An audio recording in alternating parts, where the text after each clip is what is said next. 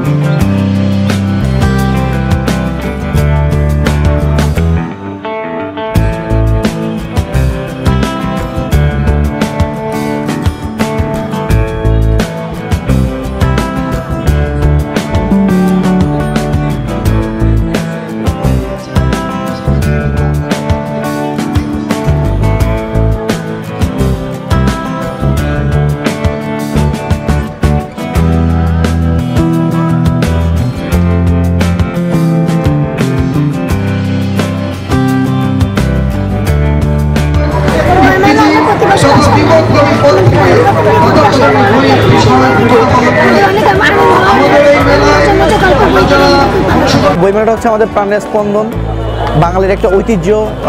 আসলে একুশে ফেব্রুয়ারি বইমেলা। আসি এখানে ঘুরতে আসি, বই দেখি, বই কিনি।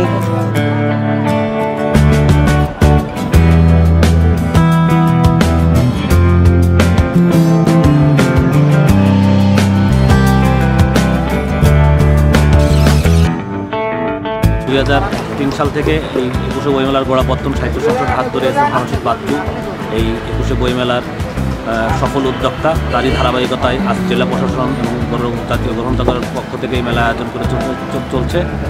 আমাদের এই মেলা এইবার এইখানে জায়গার সংকুলন খুব, কমে আসছে। তো এর পাশেই লাইব্রেরির এই পাশে লাইব্রেরির বিভাগীয় লাইব্রেরির নিজস্ব জায়গা আছে এখানে প্রায় তিন একরের মতো। ওটা যদি একটু ভরাট করা যায় করা যায়, তাহলে মেলার ব্যাপ্তি আরও বাড়বে এবং মেলার সবগুলো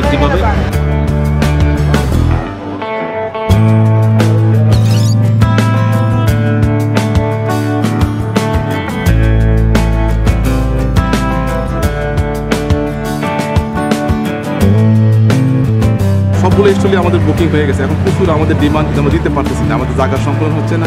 আমি মনে করি ইন ফিউচারে আমাদের এখানে আরও জায়গাটা সম্প্রসারণ করা দরকার বা মেলার পরিধি আরও বাড়ানো দরকার। আমাদের সেটা ফেলানো আমাদের আছে। এবং নতুন কিছু বলতে আমরা নতুন বইয়ের স্থানীয় লেখকদেরকে তাদের বইয়ের মরহুম রোশনের সুযোগ করে দিই। এখানে আবৃত্তি অনুষ্ঠান হবে, সাংস্কৃতিক অনুষ্ঠান হবে, আলোচনা সভা হবে। প্রতিদিনই বিভিন্ন রকম স্কুলগুলি আমাদের এখানে আসবে। আমি মনে করি অন্যান্য বারের সে এবার আপনি দেখতেই বুঝলেন যে অনেক অনেক আমরা সুন্দর আয়োজন করেছি।